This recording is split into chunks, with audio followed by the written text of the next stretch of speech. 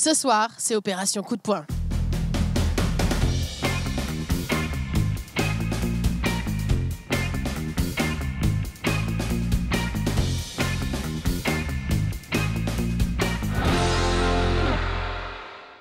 Bonsoir à tous et soyez les bienvenus dans Sur Place, émission qui se déplace au gré de l'actualité. L'actualité ce soir, vous le voyez, elle est nocturne, elle va être un petit peu barbare puisqu'on vous emmène au bistrot pour le festival Culture Barbare. C'est la 16e édition qui démarre ce soir et qui va durer jusqu'à dimanche, le 25 novembre.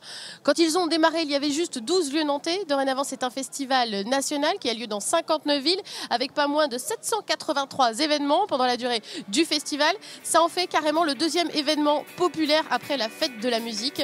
On vous emmène voir un peu à quoi ressemble l'ambiance. On ira à Carquefou tout à l'heure et là on démarre dans le quartier Carvégan à Nantes.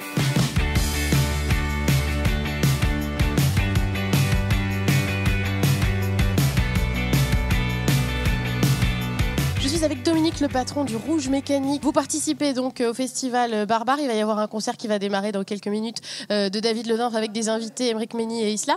C'est une évidence pour vous de participer à Barbare? Oui, tout à fait. Euh, moi, j'ai partici- enfin, je, je participe à Barbare depuis, le, depuis que j'ai ouvert. Donc, Mm. euh, ça, fait, euh, ça fait deux ans et demi à peu près que le bar, euh, le Café Rouge Mécanique, était ouvert. Donc, euh, c'est ma troisième édition de- du festival. Ça représente des grosses soirées pour vous? Il y a du monde ces soirs-là? C'est les très grosses soirées de l'année, tout Ouais. à fait. Ouais. Pendant les, les trois jours euh, de Barbare, voire même euh, depuis le départ. euh, moi, je, je commence dès le mardi. Mm. Donc, je fais du mardi au samedi. C'est des grosses soirées. gourmand, vous anticipez un petit peu sur les, sur les dates officielles. Euh, c'est des grosses soirées, ça se mesure en, en affluence, en nombre de fûts. Euh, moi, plutôt en affluence, oui. Ouais. Je vois que le bar, il est- là, je, je suis obligé d'en- d'enlever les tables et les chaises pour que tout le monde puisse, enfin, qu'un maximum de monde puisse rentrer. Donc quand on est gérant de café, on est aussi programmateur. Moi, j'ai une programmation, euh, oui, toute l'année, et euh, du mardi au samedi. Donc, principalement des concerts le jeudi, vendredi, samedi. Et puis le mardi, mercredi, je fais aussi du théâtre d'impro, du slam, euh, de la magie, beaucoup de choses euh, qu'on ne voit pas forcément dans, dans les cafés-concerts. Enfin, pas toujours, quoi. On parle euh, beaucoup des difficultés aussi que peuvent rencontrer euh, les cafés. Alors peut-être pas forcément en termes de fréquentation, peut-être des fois en relation avec le voisinage, avec le bruit, avec la réglementation. Comment vous, vous le ressentez en tant que patron de café?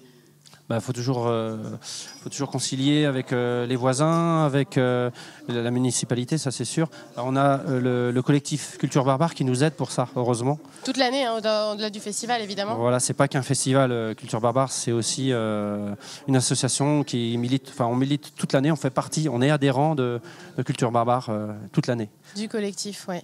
Alors justement, l'affiche cette année de Culture Barbare, c'est un point comme ça? Il représente quoi pour vous ce, ce point? Il veut dire quoi? Euh, moi je dirais que c'est un petit coup de poing dans la fourmilière euh, de la culture. Ouais. Un coup de pouce aussi, euh, tous les artistes qu'on peut faire venir ici.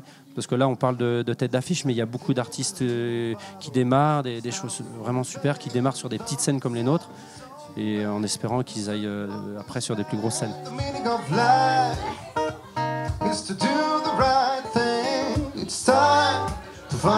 The Shine light someone else? No matter what they say, remember precious.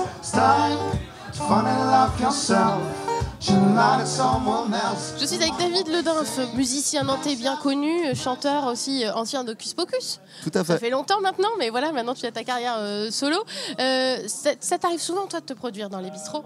Oui, pratiquement pas tous Oui, les week-ends, mais beaucoup. Ah oui, c'est un lieu de. C'est là où je joue, c'est là où je teste mes morceaux. Et puis, étant intermittent du spectacle, on a besoin de jouer régulièrement. Donc, et puis, vivant en Bretagne, qui est pour moi une des régions de France où il y a le plus de lieux pour jouer. Café-concert, euh, bar de nuit, ces choses-là. Ouais, donc du coup, ouais, je joue très souvent. Bah, hier, j'étais au rond-point à Nantes, au hangar à bananes. Euh, oui, oui, oui. C'est important que, que ces lieux-là existent et qu'ils puissent aussi euh, bah, permettre justement à des artistes de, de se produire. Ah bah pour moi c'est essentiel, sans ça on peut pas tester nos morceaux, puis avant de maîtriser un morceau faut le jouer des centaines de fois, c'est là où le bar intervient, donc vraiment euh, ah ouais j'ai besoin des bars pour tester mes mor- morceaux, et puis c'est un stress moindre que dans une vraie salle, euh, ce sont pas des lieux faits pour l'écoute à la base, mais c'est ça qui est bien, il y a un petit challenge justement, aller chercher les gens. Ouais, c'est ce que j'allais te demander. Le public, c'est pas le même, c'est pas forcément un public captif? Il est un peu là par hasard? Comment, comment ça se passe quand on joue Tout dans un fait. bistrot? Bah, en fait, de plus en plus, même les bistrots font leur com via Facebook, des choses comme ça, et moi aussi. Donc, du coup, j'essaie de drainer quand même une petite fanbase. Après, bah oui, souvent, selon les lieux où on joue en France, que je parlais de la Bretagne, mais je partout en France. Il y a des, coins où j'arrive, personne ne me connaît. Et justement, le, le challenge, c'est de se présenter, de les intéresser. Et c'est là où j'ai la chance d'avoir un répertoire assez riche, assez varié. Donc du coup, normalement, chacun y trouve son compte.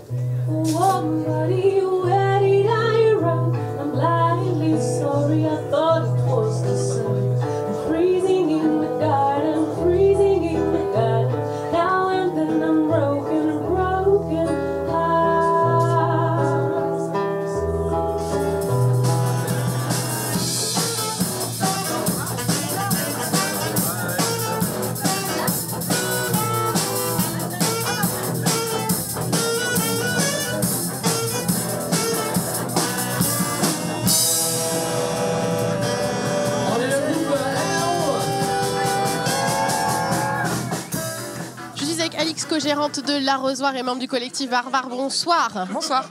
Euh, comment se porte le collectif Barbare là? On est sur la 16e édition du festival Culture Barbare. C'est l'édition de la maturité, c'est ça? C'est un, un collectif euh, qui, qui se porte bien? Oui, le collectif va bien, puisqu'il représente de plus en plus de villes, donc plus de 400 adhérents au niveau national, 230 en région Pays de Loire et en, particulièrement en département de Loire-Atlantique, avec euh, 80 lieux, il me semble, dans Nantaglo. Donc c'est vrai que le collectif donc, a pour objectif vraiment de- d'aider les cafés culture à rester là, à faire en sorte qu'il y en ait de moins en moins qui ferment, voire de plus en plus qui ouvrent, puisque ça reste un lieu de vie qui permet d'avoir d'avoir un milieu, une vie nocturne plus riche et plus sympa pour les habitants. Donc au-delà de ça, euh, pour pouvoir permettre à d'autres villes d'avoir la même la même chance que nous, en tout cas à Nantes, euh, d'avoir accès à la culture à ce point, c'est vrai que le collectif aurait besoin d'un petit coup de pouce. Donc c'est pour ça qu'il y a une campagne de crowdfunding qui a été euh, mise en place par le biais d'un d'un du site Ulule. Donc c'est vrai que pour les aider, et là, donc l'objectif à atteindre. euh, Qu'il a encore temps de, de participer. Oui, bien sûr. Alors, on sait que des fois, euh, dans le centre-ville, c'est compliqué d'avoir un bar avec les histoires de bruit, de voisinage. Il y a aussi des questions, on dit voilà, on va aller mettre les bars au hangar à bananes, mais on voit qu'au hangar à bananes, il y a des soucis de sécurité en ce moment. C'est compliqué d'avoir un bar à Nantes aujourd'hui? Non, c'est. Moi, je ne le sens pas comme quelque chose de compliqué. Après, c'est vrai qu'il y a des règles à respecter. Après, à Nantes, on est très bien entouré, puisque c'est vrai qu'en cas de problème de nuisance sonore, par exemple, avec des riverains, on fait partie des rares villes, des rares villes en France qui ont accès à une brigade de nuit plutôt que d'être directement confrontés aux forces de police. euh, Donc c'est vrai que le, le lien entre euh, les cafetiers, les riverains sont plus simples et des représentants du collectif barbare aussi dans le cadre de commissions viennent nous, viennent nous représenter justement pour nous défendre ou non, c'est pas toujours le cas selon les situations. Et c'est vrai qu'on est bien entouré là-dessus. Alors vous voyez, le collectif Culture Barbare a carrément sa cuvée de muscadet. C'est pour boire et pour militer en même temps, puisque tous les fonds sont reversés au collectif Culture Barbare.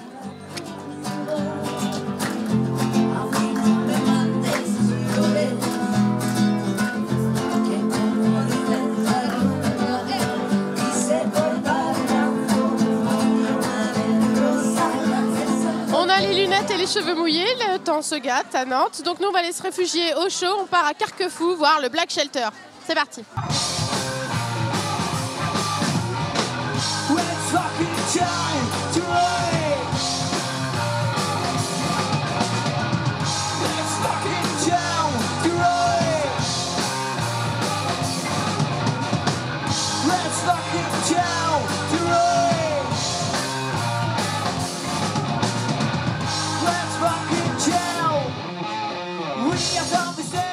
Des habitués, vous, de Barbare Vous le faites régulièrement avec ce groupe ou avec d'autres?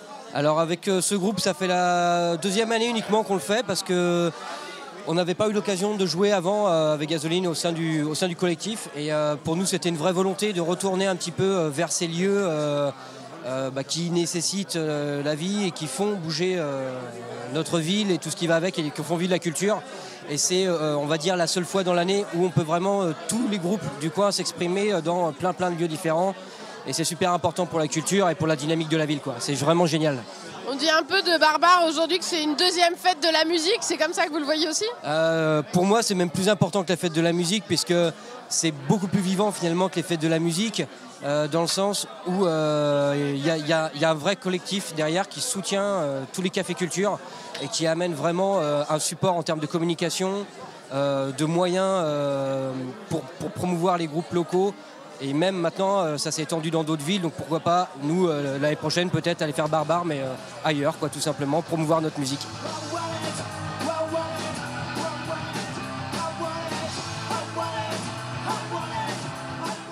Je suis avec Sonia. Bonjour Sonia, bonsoir. Bonjour. Plutôt, on est au Black Shelter à Carquefou, donc qui a Oui. ouvert euh, ici depuis 4 ans. Il y a aussi la version White Shelter, c'est ça, au sud, euh, Oui, depuis un an vers et demi.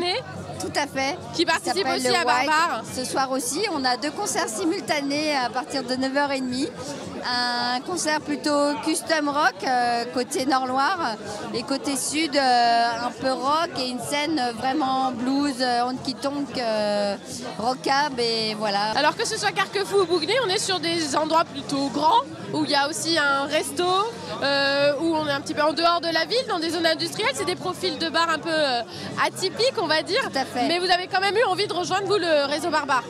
Oui, en fait, euh, nous, on suit Barbare depuis 2014 avec euh, l'ouverture du Black Shelter et on a continué avec le White. Euh, un petit big up surtout pour cette année parce que Barbare a vraiment accentué une politique sur le périphérique nantais avec un fly vraiment spécialisé pour le réseau hors nantais et je voulais vraiment les remercier pour ça parce que hum, c'est vraiment chouette de l'avoir fait. Quoi. Et, et on ressent, vous voyez, le monde ce soir, je pense que la communication et la politique barbare a vraiment fonctionné.